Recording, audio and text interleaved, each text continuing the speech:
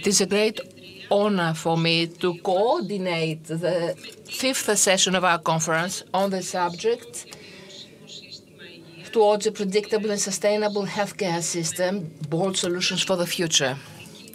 Allow me a very brief introductory intervention.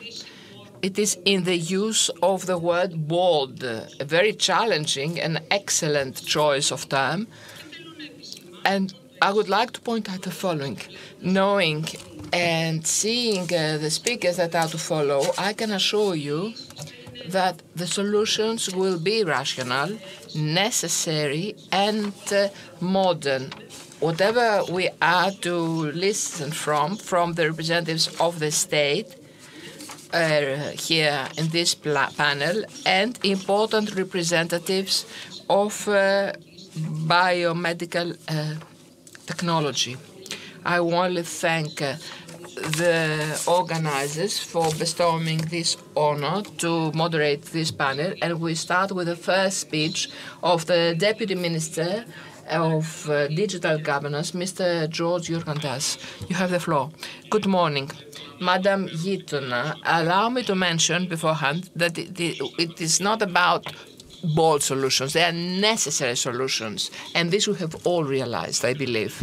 Let me first thank the president of the Hellenic American Chamber of Commerce, Mr. Nikos Bakatselos, and the president of uh, uh, SFEE, Mr. Apostolidis, the head that is the president of the Association of Pharmaceutical Companies challenges such as population aging, increase of chronic diseases, the ever increasing needs of patients, and unexpected crises such as the latest pandemic really test uh, the resilience of the healthcare system. Digital transformation can bring about to the healthcare sector whatever it has brought about in all other public services a radical change in the way citizens serve are served in their needs, a change of paradigm in the way the state perceives its responsibility vis-à-vis its citizens. Digital transition constitutes a very uh, strong toolkit which is being uh, exploited with a view to serving all citizens indiscriminately, sets the citizen at the center, adding value in the relationship of state-citizen. The health crisis gave a great boost to the digital state. Now it is a digital state that will boost the improvement of the healthcare system. Our goal is the way government handled the vaccination program to be the onset of a radically different form of structure implementation of public policies on health, so as for not, that not to be a, a mere firework, but the onset of a real transformation. From the onset of the pandemic, the Ministry of Digital Governance and Health were on daily co close cooperation, accelerating a planning that already existed before the pandemic. The first step, almost at the onset uh, of uh, the crisis, was the full implementation of e-prescription the government gave the possibility to whomever citizen uh, wanted that to receive through email or SMS to receive his prescription, thus uh, contributing both to servicing the citizen but also rationalizing the pharmaceutical expenditure.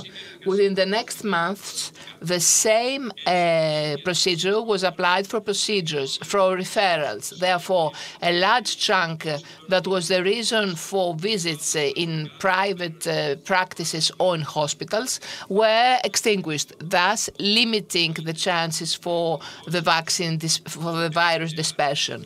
Therefore, through COVID.gr, more than 2.5 million citizens enrolled in e-prescription system. Last month, we announced, in cooperation with IDIKA, two new actions. First, the medical certificates to be also received through SMS or email so as to be used for sports or any other activity. What was uh, determining, however, was the activation of My Health app As you know, this is an application that allows to those that uh, uh, install it on their mobile phones to have access to all e-prescriptions, referrals, and medical certificates that are issued in their number, in their registry. This is valid for the onset of uh, the social of the date of social uh, of the inscription of the enrollment in the social security system. And these first steps actually are the foundation for the creation of the electronic record health record but we don't limit ourselves there. Let us not forget that all these uh, rampant digital uh, changes in combination with the maturity of population have brought about important differences in the aspirations of the citizens vis-à-vis -vis, disease prevention. Citizens are not only ready, but actually desire uh, the digital medical services. Therefore, our goal is to empower every single citizen, supporting especially sensitive groups such as chronic patients, senior citizens, and those having uh, mobility problems, thus uh, offering the capacity of uh, easy and uh, quick communication through the network with professionals. Additionally, the expansion of digital services in the health sector will fight bureaucracy, the redundant uh, transports, the carrying around of uh, documents, and also fight corruption and uh, offer a lot to the, to the transparency. An important uh, benefit will be through the development of the necessary actions and the development of telemedicine network. We will explore the current, uh, we will explore, we will explore the system for the home care, for medical uh, acts and so forth, as well as redesigning processes so as to have uh, reimbursement also in the case of uh, remote medical services offered. Through this uh, quantifiable projects that we will be implemented through the RFRF, we will upgrade uh, the medical services at the points through the upgrading of uh, the mature digital services, securing the privacy and the protection of uh, medical data, the improvement uh, of also and training of all partners in uh, IT, and promoting entrepreneurship in electronic health through the introduction of new innovative technologies in the national health system. An important mechanism is the turn towards the an organization of the health system so as to deal with long-term deficiencies.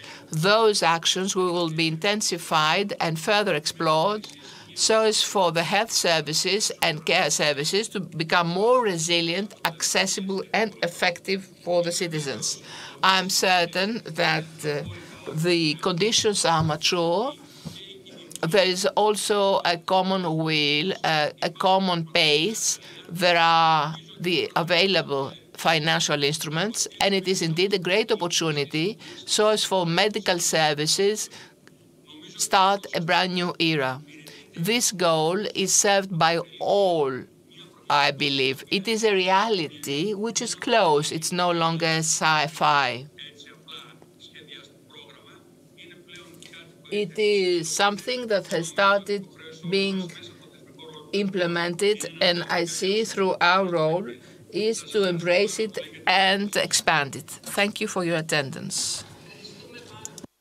Thank you very much, Mr. George Georgantas, for respecting the time and for presenting all the fields of digital transformation in our country. And of course, we should all acknowledge the efforts made by this government in this direction. And now I would like to give the floor to the next speaker, since we cannot talk about digitalization without talking about provision of information and communication on the part of the state, of course, that is why now I would like to give the floor to Mr. Yannis Mastrogeorgiou in order to give his presentation. Thank you very much. Good morning. Thank you very much for the invitation. I would like to thank the organizers of the conference. I would also like to thank uh, the technical team that uh, provides us with all necessary support and help uh, since uh, we have this communication from a distance. Ms. Geitona, today I'm not going to talk on the capacity of the General Secretary of Communication and Media. On the contrary, I'm going to talk as head of the Foresight Group because I believe that it will be more interesting since I'm addressing to people who understand the future developments uh, and uh, the reforms that will take place in the field of health. You know, it is one of the very few times that we have the possibility to read, to approach the mega trends of the future, these different black circles, as they are called, and all the developments that will be brought about by the future. And it is also one of the very few times that we are able to shape our own view for the future, because this is exactly the task of foresight in cooperation with the European Commission, with the OECD and other international organizations. So my main objective is uh, to talk about an extremely important change that has already been made in the health sector during the pandemic and will be, in our view, and of course based on all the existing trends and studies that have been conducted, uh, very, very important in the coming years. The health sector, and not only will be characterized by radical and revolutionary changes that will provide uh, major opportunities for the development of R&D and for the improvement of services provided to the citizens. All these changes will be far more compared to the changes that have taken place in the last 100 years. We could also say that we are lucky, quote unquote, because we are going through a period that is called the Anthropocene. We are living in a period in which uh, humans have affected so much uh, their evolution and also the state of the planet that they have defined a completely new era by themselves, humans. And this new era is here and will develop rapidly in the coming years with the utilization of technology, but also with the use of biology and biotechnology all the ecosystem of the developments uh, that we will witness in the future first and foremost, of course, uh, climate change. I'm not something. I'm not telling something new. I know that I'm addressing people who have a deep knowledge of uh, the current state of affairs and what uh, climate change means. So all these developments will influence man and health. I will give you one example that you probably already know. The melting of the ice in the coming years, and especially the melting of the ice that is in a frozen state for thousands of years will release in the atmosphere microbes, viruses, and uh, bacteria that have been forgotten. We don't know whether humans are ready to deal with a new pandemic coming from the Paleolithic age.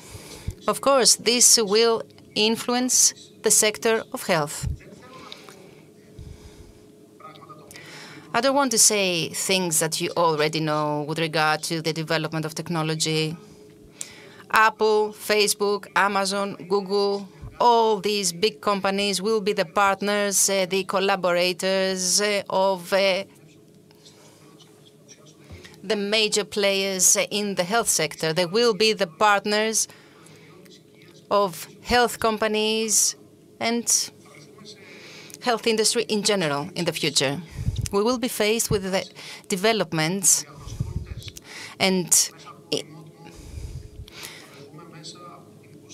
changes like uh, remote monitoring, like uh, cloud computing, machine learning. We will be able to create uh, in our own home an at-home medical center, we will be able to use on a daily basis equipment in our bathroom that will perform all the tests. For example, we will have the smart mirror who will perform that will perform all the tests. In addition, we will have technologies that will be able to scan and not only record. This is uh, already done uh, today by a phone. So these devices uh, will scan, record, and will take a step further thanks to technology. Of course, uh, telemedicine will be an integral part uh, of uh, the health sector in the future. And last but not least, synthetic biology will be a major development. This will give us the possibility to alter the software, if you like, of our own self. And this will raise many questions uh, with regard to ethics. Businesses, companies, and generally speaking, the health sector will have to be quite updated and informed about all these issues related to ethics.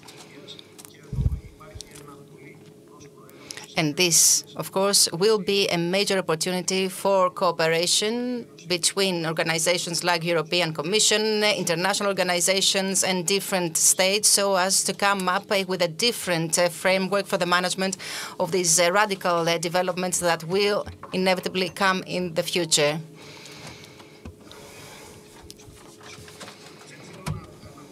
I don't want to take uh, more of your time. However, I would like to tell you that uh, the opportunities uh, that will emerge for the health sector in the future will be many, both at the level of research and development, at European international level, but also at many other levels.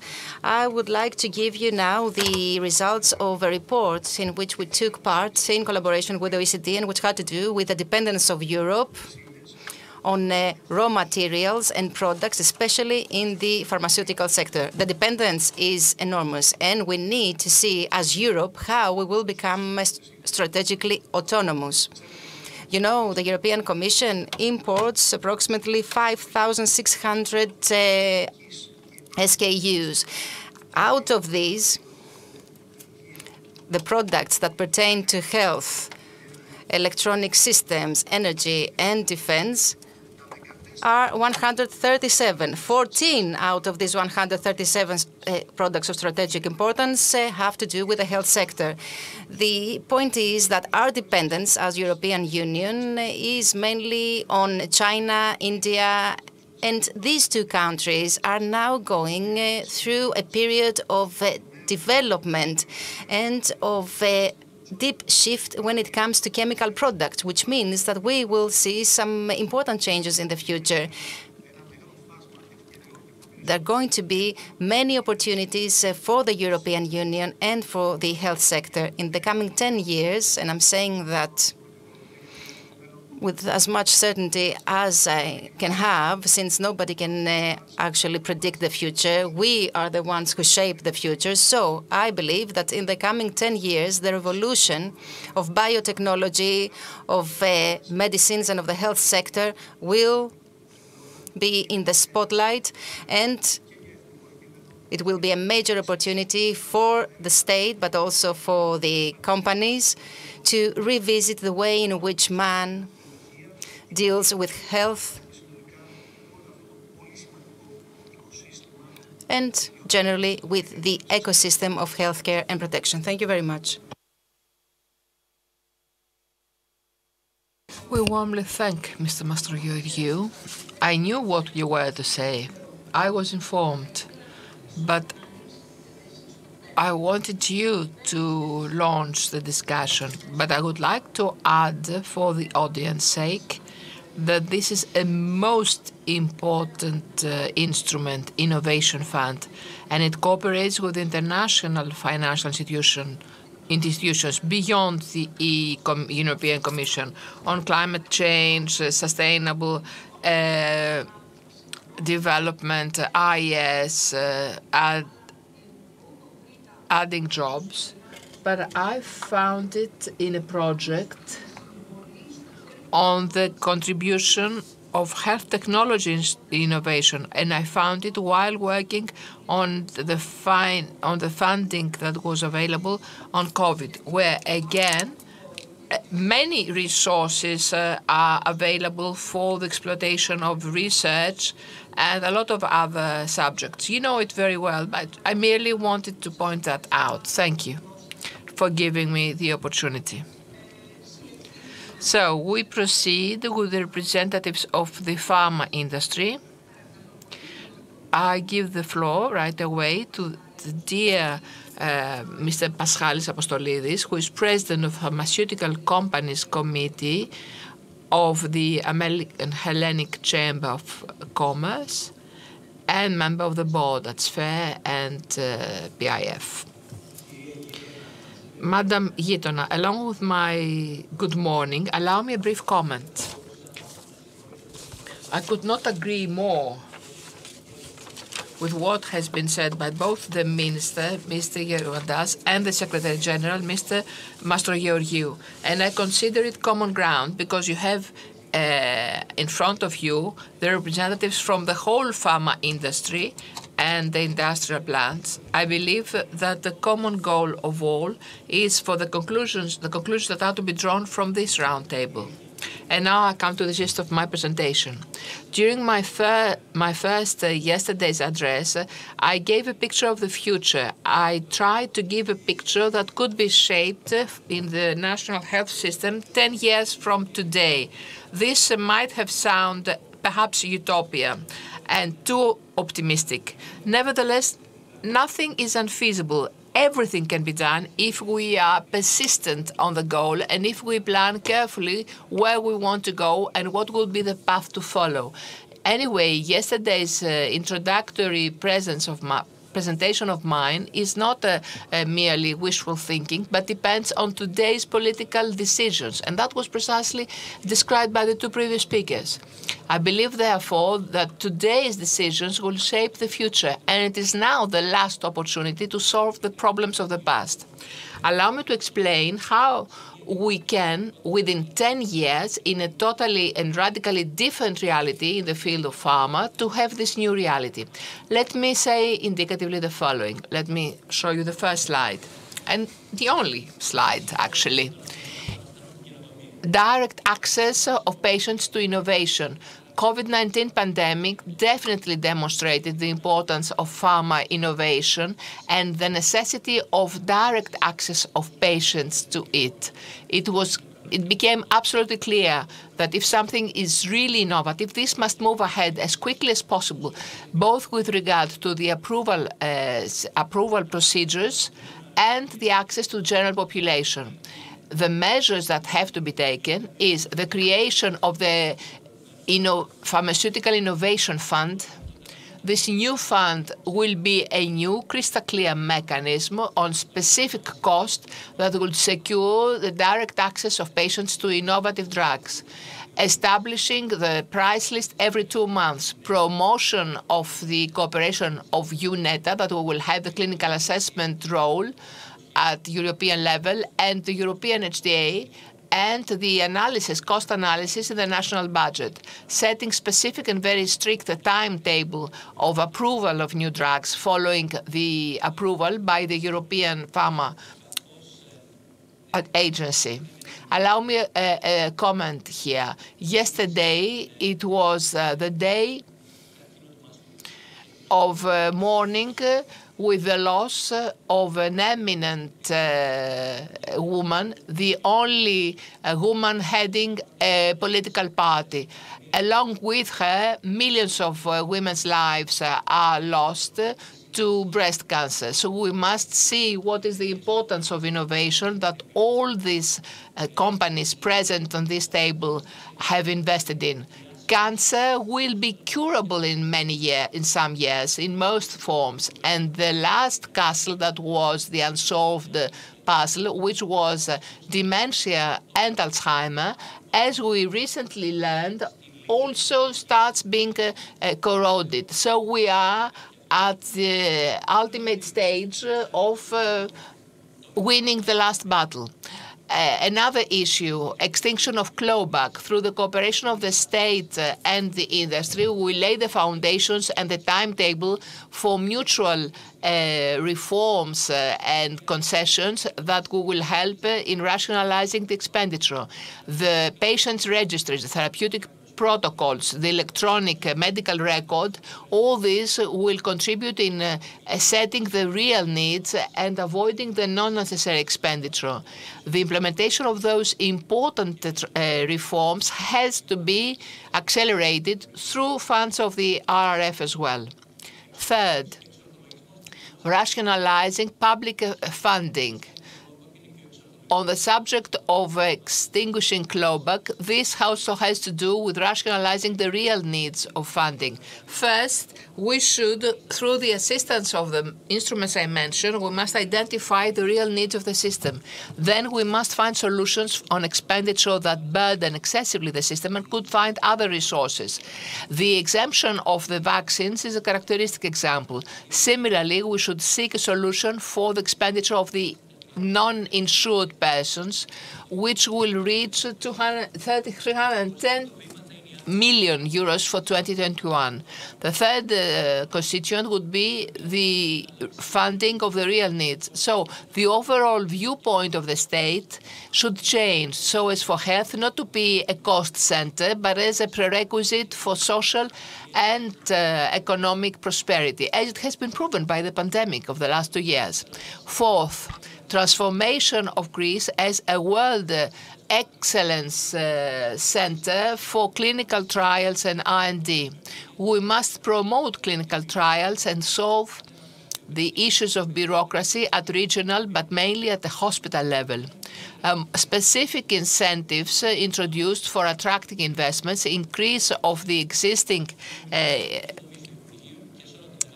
incentives, such as the offset of clawback, and uh, uh, establishing an agency that will uh, be responsible for the coordination of hospitals and will be operating as a one-stop shop. And also, following the approval of a drug from the European uh, Pharma Agency, should be approved within two months in Greece as well and be launched in the market. And finally, the transformation of Greece in a world um, excellence center of uh, real evidence, real-world evidence. We have a comparative advantage. The data, which was the omen of what you mentioned uh, previously, are the scientific data that's necessary. As you know, hundreds of millions uh, of euros are spent every single day in order to have access to processing real data. Greece can have a great share of this pie, starting with an opening of the data that we collect, of course, uh, by strict observation of GDPR, and then proceed with synergies of public and private sector, of companies here present, and uh, research centers. Of course, it is critical to seek for European funds as well. In conclusion, I wanted to tell you that I tried to make clear that there are specific proposals, a specific plan for their implementation. So let us stop discussing on theory on what we would wish to see. Let us focus on how we will attain that.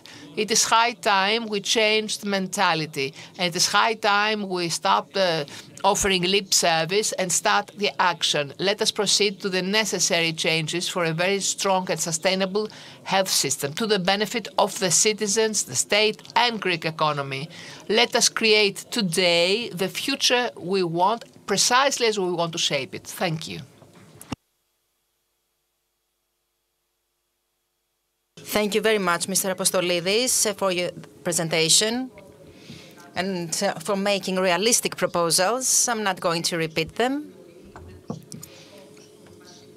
We will give the floor to the representatives of the different institutions, and if we have time left at the end, then maybe we can have a discussion on your proposals. So now I would like to give the floor directly to Mr. Olympios Papadimitriou, who is President of the Hellenic Association of Pharmaceutical Industries. Mr. Papadimitriou, you have the floor. Thank you very much, Ms. Geitona. Ladies and gentlemen, good morning. Thank you very much, uh, the organizers of the conference of the American Hellenic Chamber, for inviting me to this conference. It's a great honor to be here today among representatives of the state and of the pharmaceutical industry in order to talk about the possible solutions for a sustainable future I would like to spend some time on making certain verifications and on presenting you with some data because, uh, to be honest, the actions of the past will define the boldness of our future actions and moves. I cannot possibly think uh, that our future actions will be dramatically different and revolutionarily different compared to the ones of the past. So if you could please show the slides.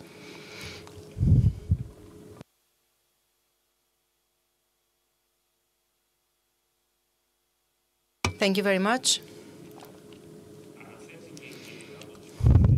The previous speakers said that the expenditure on health in the future will have to increase. According to estimates that had been made before the outbreak of the COVID-19 pandemic, the expenditure in the years 2018 to 2022 should have to increase by 55.4%, whereas in terms of GDP should be equal to 10.5%.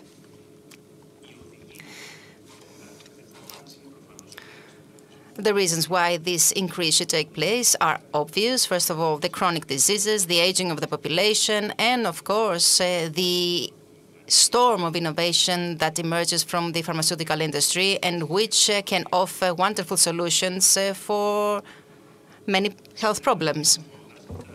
Are we close to all these as Greece? I'm afraid not. And I would like to touch upon a rather harsh indicator that shows the health state of a population, and it has to do with life expectancy. You know that the coronavirus pandemic uh, has led to a drop of life expectancy all around the world. However, if one focuses on the dark black line, which is Greece, we'll verify that this uh, drop of the life expectancy has started earlier than the outbreak of the coronavirus pandemic. And I would say that uh, we shouldn't expect uh, an increase of life expectancy in the future. We are a country that is faced with of the ischemic cardiac disease, cancer, strokes. We are champions in obesity, in smoking. At the same time, we have an aging population. We have an epidemiological profile that uh, it is rather dark and uh, does not bode well for the future. So the answer to all these, and especially due to the financial crisis of the past, has been a low financing of the healthcare system. Almost 7.5% of GDP are spent uh, on health, but it seems that we are far lower compared to the European average when it comes to the financing of the healthcare system. I would like to touch upon this slide. Allow me to say, however, first that during the last 10 years, and unfortunately this year we are on the 10th year of clawback, the sector has contributed approximately 11 billion euros, has returned, if you like, 11 billion euros to the state, covering in that way the weakness of the state in covering the health needs. However, what is uh, most concerning when you're seeing these slides uh, is this increasing trend. Basically, the state, for various different reasons, which shouldn't exist, has uh, become complacent uh, because of clawback. And of course, we should accept that this is not sustainable. That is why we have repeatedly identified the risk uh, that is uh, linked with clawback when it comes to the sustainability of uh, the health system. This was also underlined yesterday by a representative of the European Commission. So, when it comes to the future, we need to focus on four different areas. First of all, we need to rationalize demand and offer, supply that is. Uh, we need to promote innovation, and of course, we need to promote the effective monitoring of the system. That is why, as an Association of Pharmaceutical Industries of Greece, uh, we have submitted a series of proposals that are based on seven pillars, which are known to most of us. However, apart from the financing of the system, which is undoubtedly an imperative need, we are far from the European average in terms of the financing, as I said. So apart from that, and as the minister said, uh, there are various different things that are taking place, and they are truly important. However, one of the most important factors is the digitalization of the health system, which will facilitate the provision of services to the citizens, but at the same time will become a means of recording of our successes in terms of the use of financing.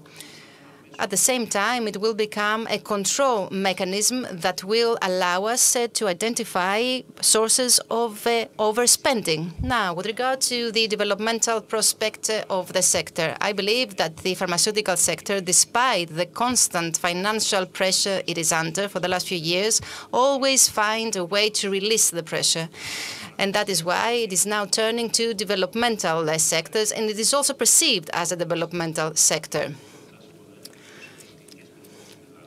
What we have tried to do, and we have succeeded, is attract clinical trials in Greece. And I believe that this uh, effort has been uh, recognized by the Greek government, and that is why lately they have um,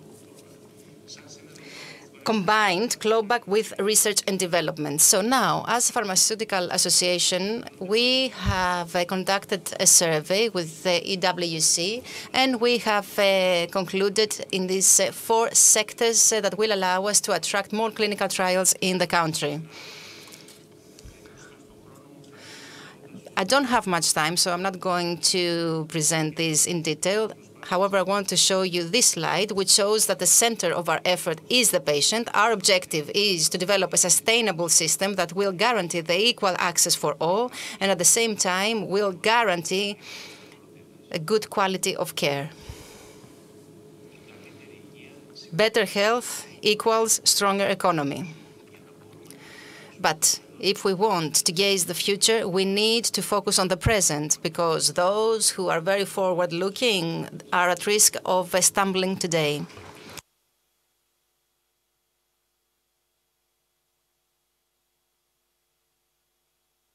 We warmly thank Mr. Papadimitriou. Some references vis-à-vis -vis the proposals were common.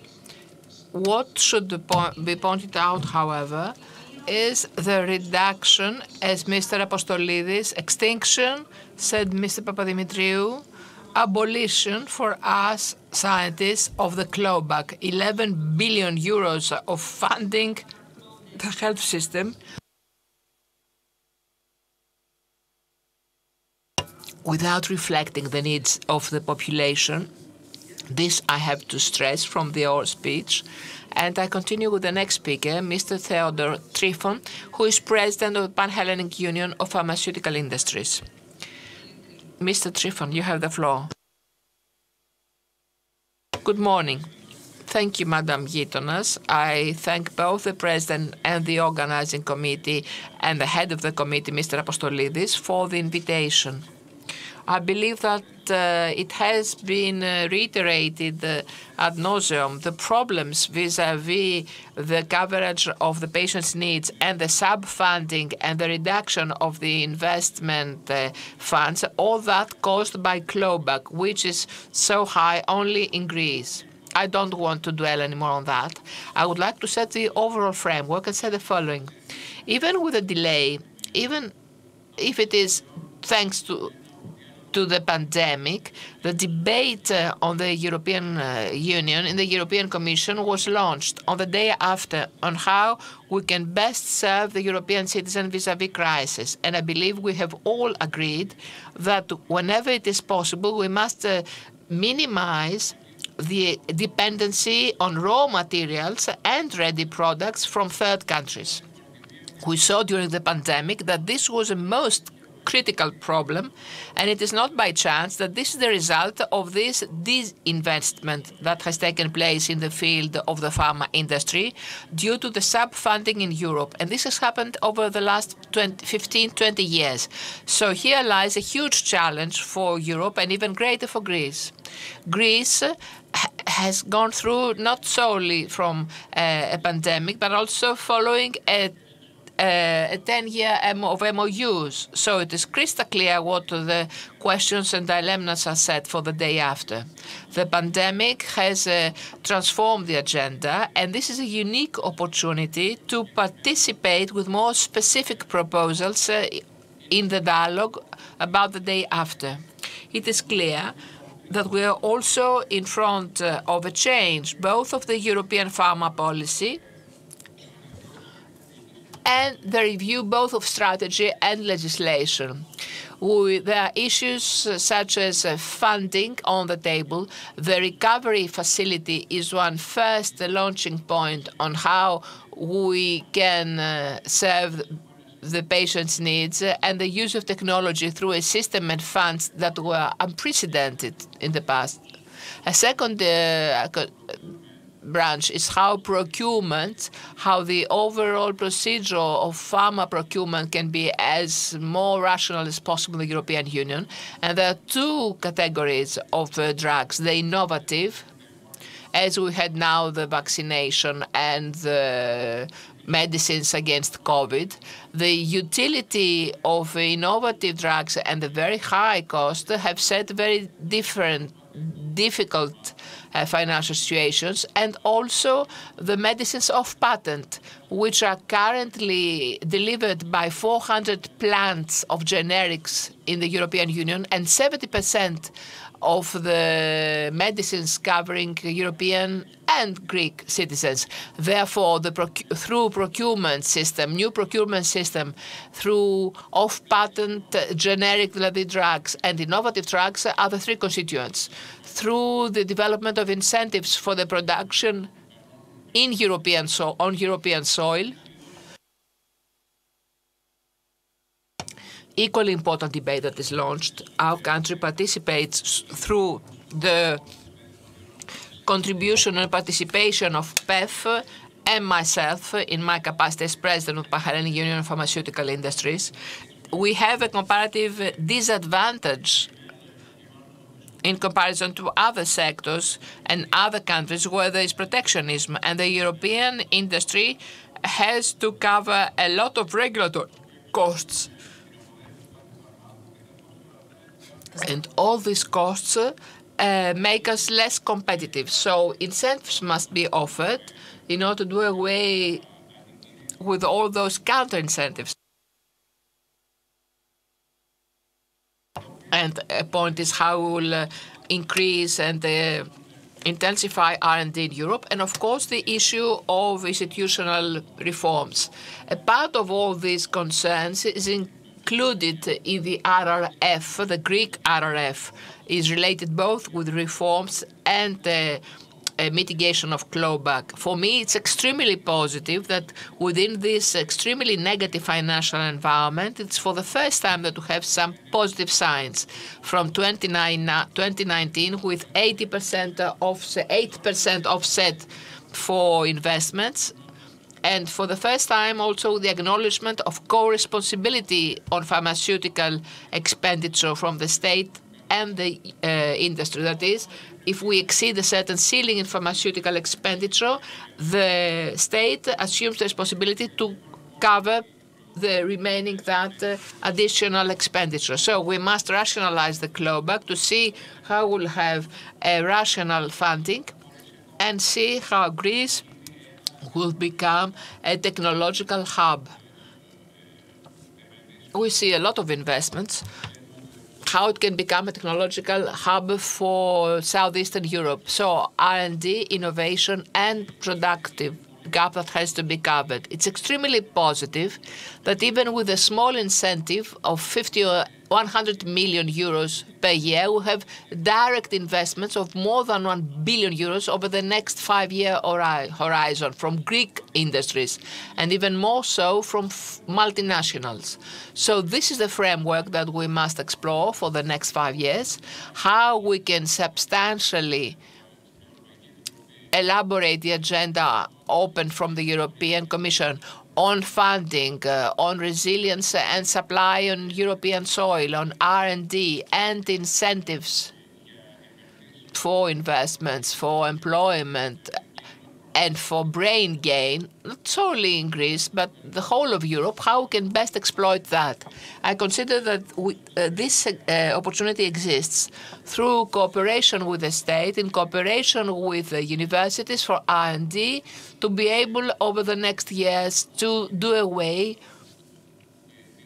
with uh, the problems that were caused and the rigidities that were imposed of the sub-funding due to the sub-funding of the health system during the previous years. Thank you.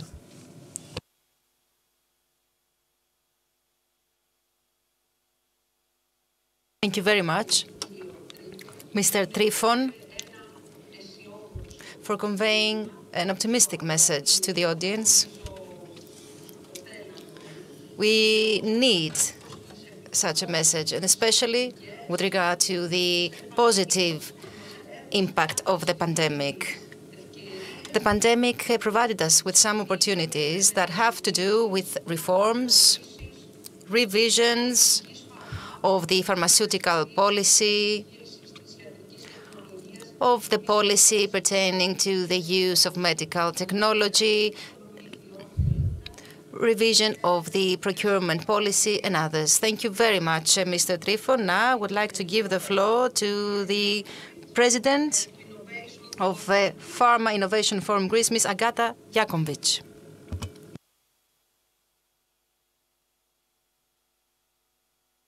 Σας ευχαριστώ πολύ, κυρία Γείτονα. Σας ευχαριστώ πολύ κυρία Αποστολίδη για την πρόσκληση που μου απευθύνατε και σας ευχαριστώ πάρα πολύ το Αμερικανικό Ελληνικό Επιμελητήριο για τη διοργάνωση αυτού του πάρα πολύ σημαντικού συνεδρίου που μας δίνει την ευκαιρία να συζητήσουμε για την φαρμακοβιομηχανία και για την βιωσιμότητα του συστήματος υγείας. Αυτό που θα ήθελα να συζητήσω στα επόμενα έξι λεπτά είναι η βιωσιμότητα από την πλευρά της φαρμακοβιομηχανίας. Όπως μπορείτε να δείτε σε αυτή τη διαφάνεια και πιστεύω ότι την έχετε δει αυτή τη διαφάνεια ήδη. Πρώτον, βλέπουμε ότι η συνεισφορά της φαρμακοβιομηχανίας είναι πάρα πολύ σημαντική. Είναι ουσιαστικά ένα πάρα πολύ σημαντικό χρηματοδότησης που εγγυάται την βιωσιμότητα του φαρμακευτικού τομέα στην Ελλάδα. Όπως μπορείτε να δείτε εδώ στη διαφάνεια, η μεγαλύτερη συνεισφορά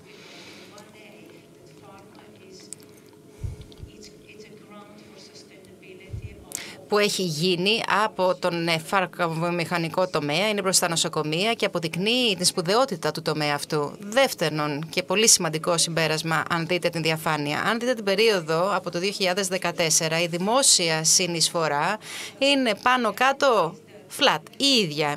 Η πραγματικό είναι ότι δεν έχει γίνει εντοπισμός των αναγκών των ασθενών ή των ε, διαφόρων θεραπείων που προσφέρονται ανεκατηγορία. Άρα βλέπουμε αυτά τα δύο πολύ σημαντικά συμπεράσματα σε αυτή τη διαφάνεια. Προφανώς λοιπόν η φαρμακοβιομηχανία συμβάλλει σημαντικά στη χρηματοδότηση του συστήματος και δεύτερον, για να το επαναλάβω, η χρηματοδότηση αυτή βρίσκεται στα επίπεδα του 2014. Άρα μπορείτε να φανταστείτε ότι θα μπορούσαν να ήταν πολύ διαφορετικά τα πράγματα, δεδομένου ότι μιλάμε για μια χρονιά πριν από έξι χρόνια. Συνήθως λέμε εντάξει, οκ, Αλλά να δούμε όμως ποιος είναι ο πραγματικός αντίκτυπος αυτού του γεγονότος στην ε, υγεία του ελληνικού πληθυσμού. Όπως βλέπουμε σε αυτήν τη διαφάνεια και πιστεύω ότι και άλλοι έχουν χρησιμοποιήσει την ίδια διαφάνεια, αυτή είναι η κατάσταση υγείας ε, όπως προκύπτει από μία έκθεση του ΟΑΣΑ. ΟΣΑ. Εδώ πέρα βλέπουμε ότι το προσδόκιμο ζωής της Ελλάδας ε, έχει αυξηθεί με τον πιο αργό ρυθμό σε σχέση με τα υπόλοιπα μέλη της Ευρωπαϊκής Ένωσης. Αλλά αυτό που είναι πιο σημαντικό ακόμα είναι ότι η θνητότητα των βρεφών έχει αστραφεί τα τελευταία χρόνια.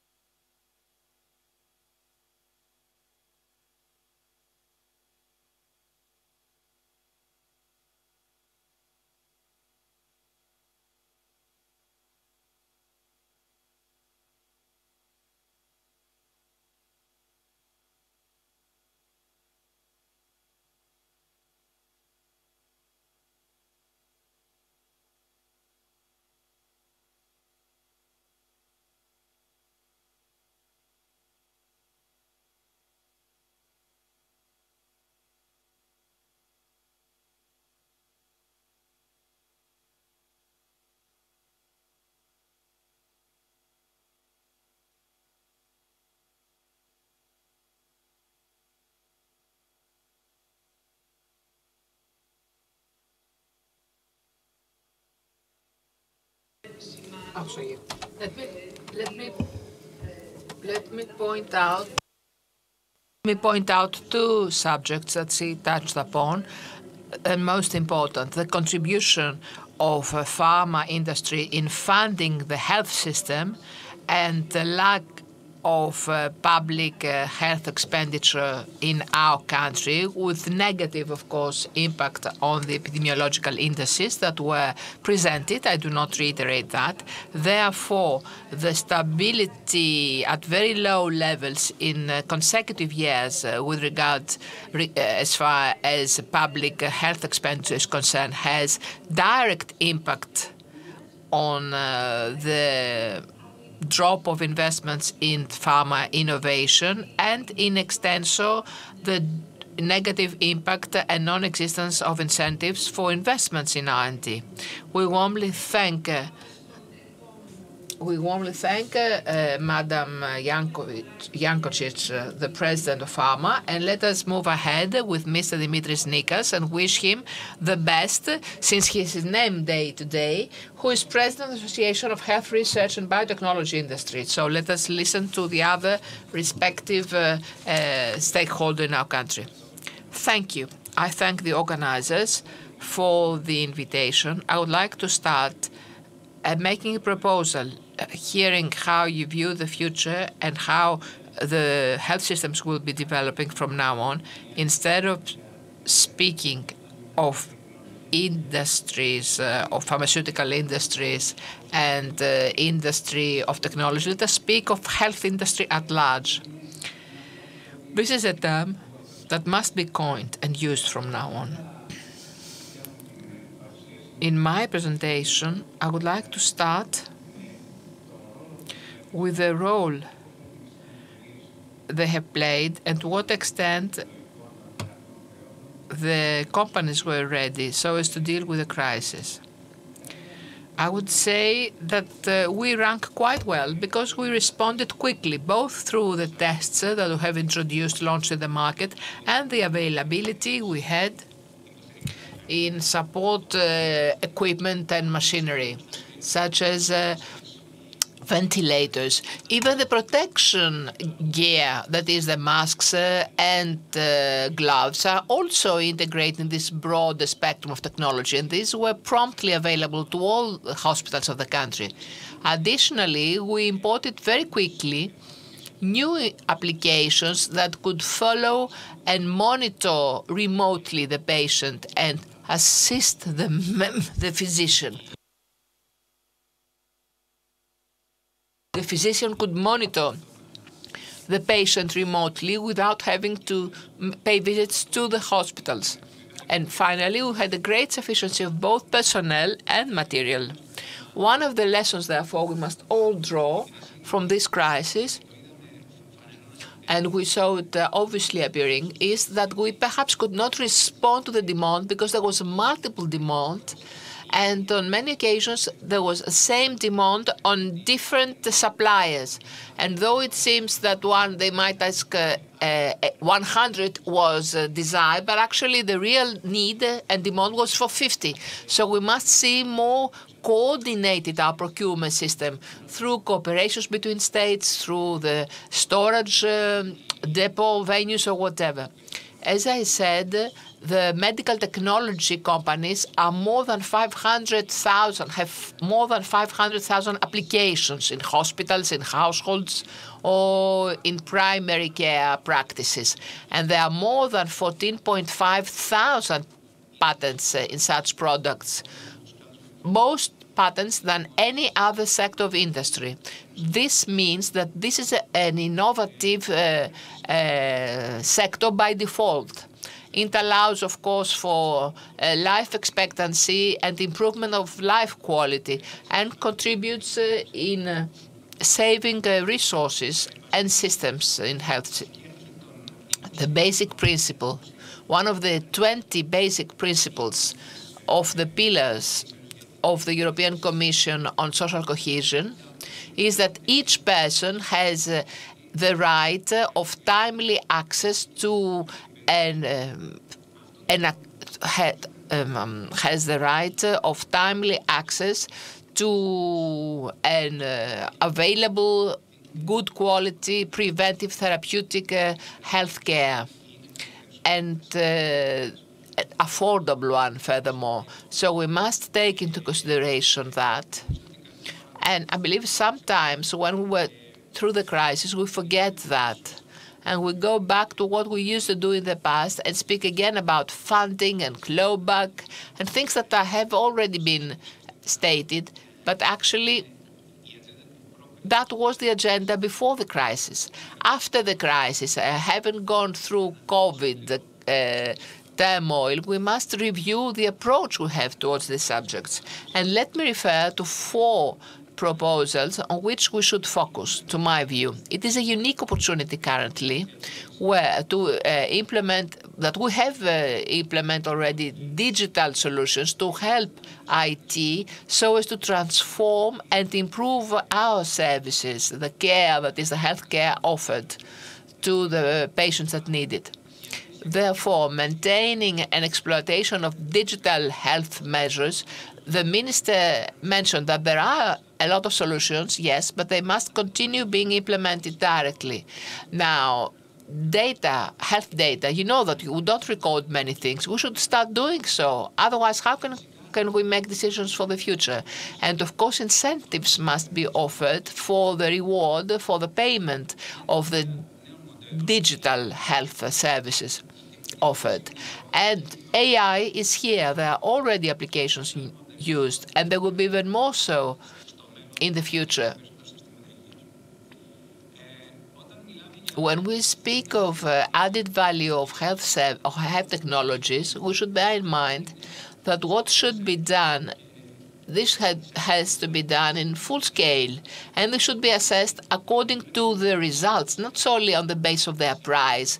We should not uh, take a snapshot of what this specific technology offers and assess it. We must see it through its whole life cycle, from the start and the end, and after the treatment is offered to the patient, and approach also new financial instruments that do not currently available, a new procurement system which should be based on the value-based best care and not on the price of paying for the materials two more issues. We should enhance uh, the innovative uh, commodities and services in the field of care, of health, and we must really do away with red tape. You know that this is a loop. This is a kind of strangling many companies that would like to invest in the health sector, but due to the huge bureaucratic cost, they do not dare to do so or postpone it for later. And finally, we should speak about the improvement of the interoperability of the system so as for the collection, processing, and exchange of quality data and health indices, boost uh, training in the field of health, uh, help uh, for help the, the, the patients and also the, the decision makers. I'd like to conclude saying that COVID was a crisis, still is. I believe, however, that it can be seen as a huge opportunity for many things to be changed in the health system, um, which uh, we we are faced with on a daily basis, and we are perhaps um, disappointed because we don't see ideas being implemented. But now we see a lot of things that can become a reality. Thank you. Thank you, Mr. Nikas, for observing the time. You were the last speaker. What I would like to underscore is the important contribution of your sector vis-à-vis -vis the sufficiency of materials, of uh, supplies, everything during the pandemic even from the outbreak, the first outbreak uh, of uh, the pandemic. This was most important. And as far as the proposals are concerned, digitization, as it was uh, reiterated by all, what you have separately contributed, and we know it, but must be always stressed, is the exploitation, creating data, therefore recording data, processing uh, of that data with the upgrading of the system and the upgrading of HTA.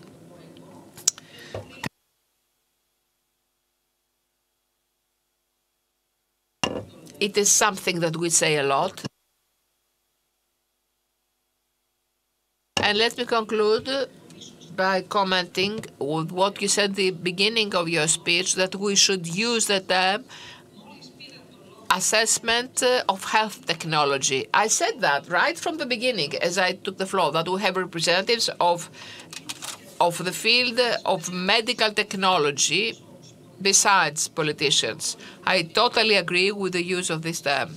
I warmly thank you all, as well as the audience. I thank all the panelists and the audience, and I think that we should uh, pass the torch, give the floor for a Q&A session. No, Madam Geitona. No, I merely wanted to point out something, if you allow me. It was heard from uh, the discussants, very important, the fact that in the restructuring program we saw for the first time a model of co-responsibility between the industry and the state vis-à-vis the clawback. And this is, uh, we really encourage it and we salute it because that was also the result of our efforts to make, that we made consistent efforts to make the state realize that this model was not sustainable. Nevertheless, we lately see a trend for negotiations of various categories of drugs separately. This is not bad per se. But when in the framework uh, of negotiations, you, they also include the clawback, that is, we are asked to front load a front load of payment of the clawback, and in a way, if you allow the populistic expression to to cover it, to hide it, I must make that clear. The allocation of responsibilities in the framework uh, of restructuring in the RRF mechanism will be meaningful if it leads to a real substantial use of clawback and not to use this kind of hiding over so as to say that we have reduced it. So a first uh, proposal is that any kind of negotiations, which are welcome, but they should become at the level of rebate. Clawback should say outside for those who are knowledgeable of the field, this is very well understood. The state must view that. Otherwise, we will be led to some kind of creative accounting. We have seen that in the past. In the future, we should avoid at any cost bad practice of the future. And in order to complement, and I say that for the audience following here, that means that we should finance uh, properly the needs that come from the public sector. So reduction of clawback on one hand, but also on the other hand, as uh, Madam Jakoncic have said, the public expenditure is stable for so many years. So we must view the real needs, be it uh, health services or whatever. And this must be done in a very systematic way from the state. Yes, let me also add,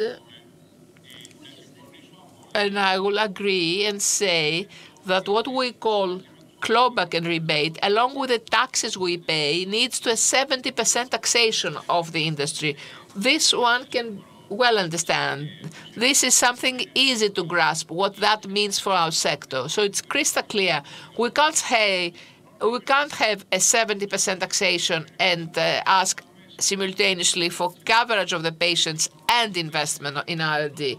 So we must demand a dramatic drop of this overtaxation. It can't be dubbed otherwise. As an industry, we should ask to have at least a 30% drop in this taxation, as it happens in other European countries. It's the only way to have both coverage of patients and also uh, make Greece a research hub in southeastern Europe. We have all the perspectives and appropriate instruments. But we must do away with this counter incentive. This is crystal clear. And it has been discussed at the level of Prime Minister's cabinet. It has been understood. So we must see some immediate results over the next two years.